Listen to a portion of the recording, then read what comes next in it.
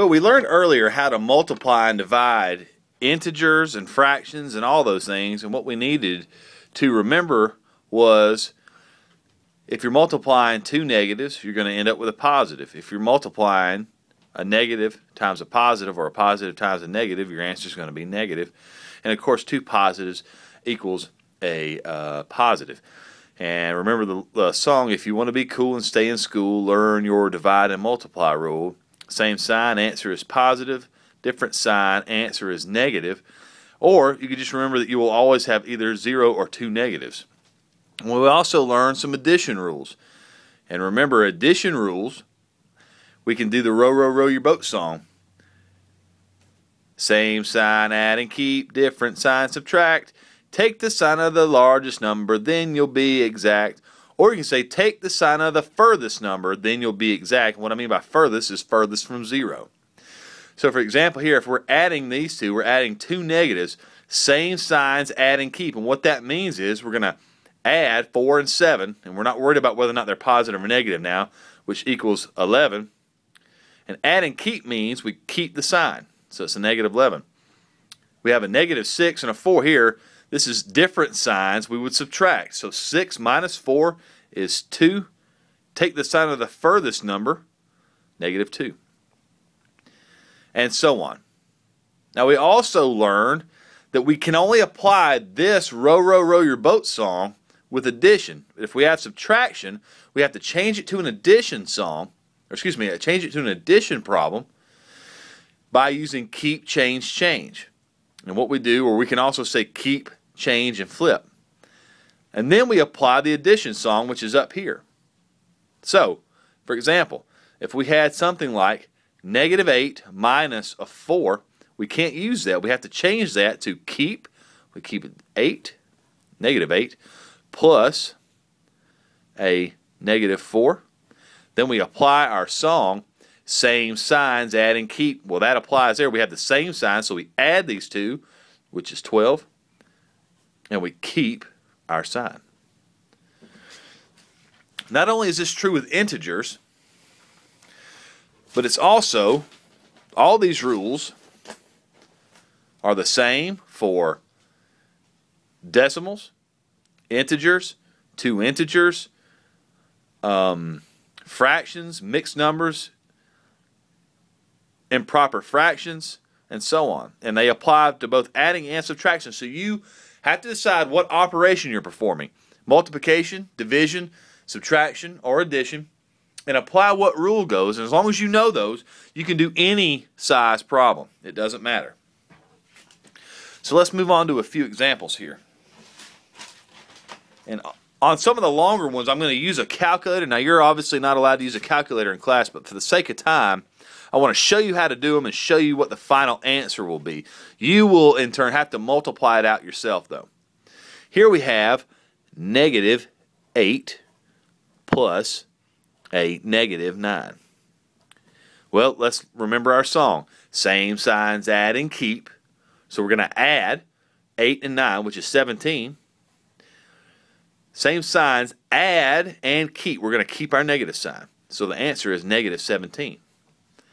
2. Same signs, add and keep. Well, that doesn't apply, so we have to do different signs because this is a negative and this is a positive, so we're going to have to subtract. 12 minus 9, and keep in mind, once we do this, once we apply our song and figure out what operation we're going to perform, we have to subtract just the, don't worry about the signs, and we just subtract 12 from 9, which is 3. Take the sign of the furthest number, or the largest number. In this case, it's going to be 12, and that's a negative. 6 plus a negative 5. Same signs add and keep. Well, we don't have same signs, so we have different signs. This is a 6, this is a negative 5. Different signs subtract. So 6 minus 5 is 1. Take the sign of the larger number, or furthest number, which is 6. That's a positive, so the answer is 1. Number 4. Same signs add and keep. Okay. Well,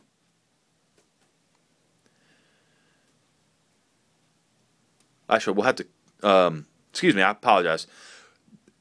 this is a subtraction problem, so we have to change it to an addition problem in order for us to apply the song.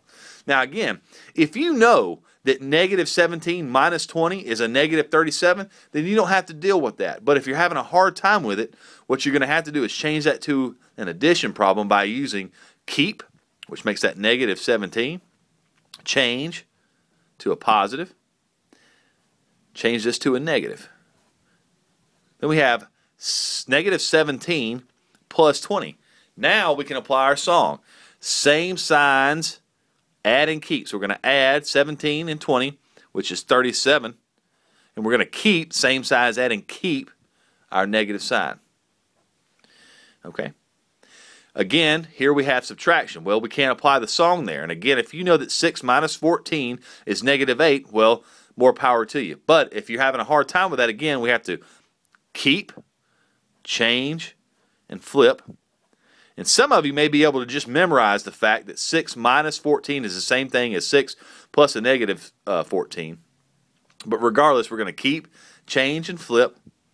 Same signs, add and keep. Well, that doesn't apply here. We have different signs, so we're going to subtract 14, or take 14 and subtract 6. The answer is going to be 8. Take the sign of the furthest number. The furthest number from 0 is negative 14 on a number line. Our answer is negative 8. Here, again, we've got to keep, change, and flip. This is going to change to negative 4 plus 3.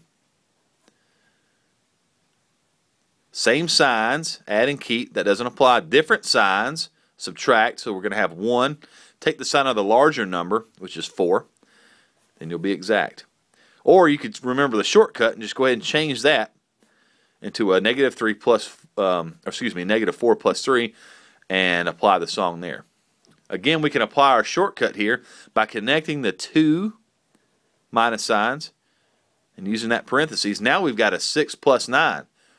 Well, in this case, we really don't have to apply a song because we've known since the first grade that 6 plus 9 is 15.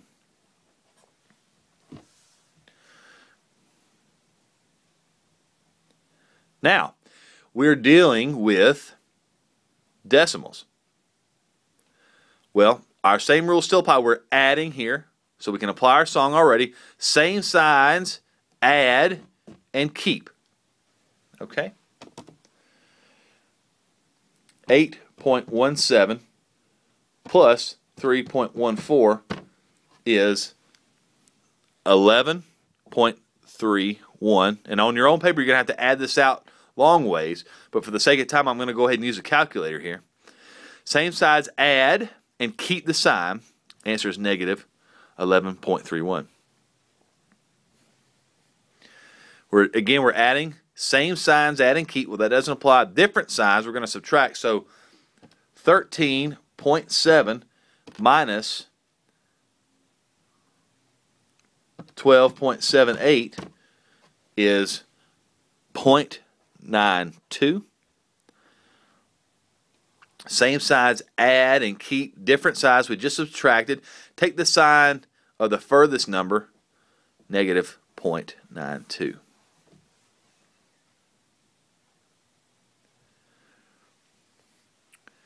Seven point one four six minus thirteen point seven two. Well, that's a subtraction problem. We have to change that to an addition, so that changes to keep seven point one four, six, change, and flip. Same signs, add and keep different signs, subtract. So 13.72 minus 7.146 equals 5, excuse me, 6.574. Take the sign of the larger number or furthest number which is negative, negative 6.574. We have to change this to an addition problem. Keep, change, and flip this to a 21.8 because it was a negative, now it's a positive, or you can just apply the shortcut either way. Now, same signs, add and keep. Well, that doesn't apply here. Different signs, subtract. So 21.8 minus 6.72 equals 15.08. Take the sign of the furthest number, which is 21.8. We have a positive 15.08 or 15.8.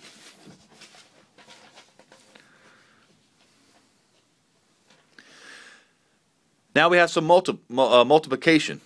And we've done these before, but we're going to do this really quickly. A negative times a negative is always a positive. So 17 times 4 equals 68. We only have room for two or zero negatives. In this case, we've already got our two, so the answer is 68. Now you can go on down your multiplication ones and go ahead. We know that this is a negative times a positive is a negative.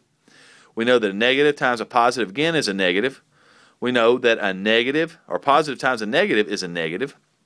And we also know that a negative times a positive is a negative. So all these are going to be negative because we only had room for two minus signs and we can't just have one or you can just apply your multiplication song. If you want to be cool and stay in school, learn your divide and multiply rule. Same sign, answer is positive, different sign, answer is negative.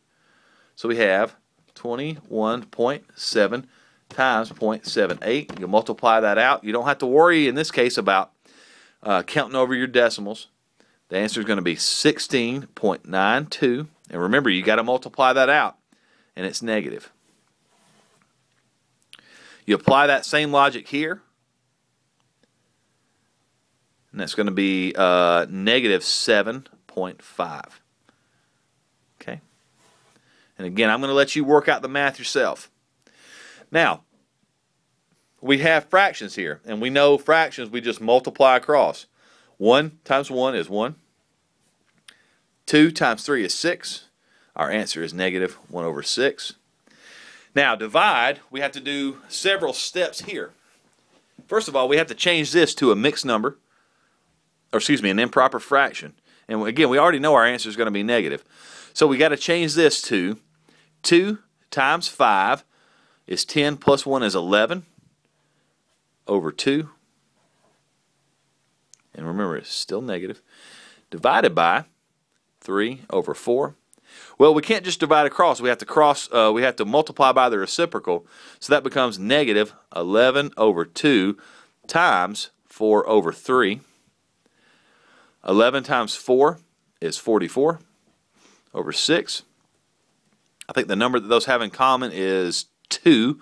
So 2 will go into 44 22 times, and it'll go into uh, 6 3 times. Now, we're not done because we know that this is negative because we had it right here, but we have to change this to a mixed number. 3 will go into 22 seven times without going over. Our remainder is 1 over 3. Our answer is 7, negative 7 and 1 third.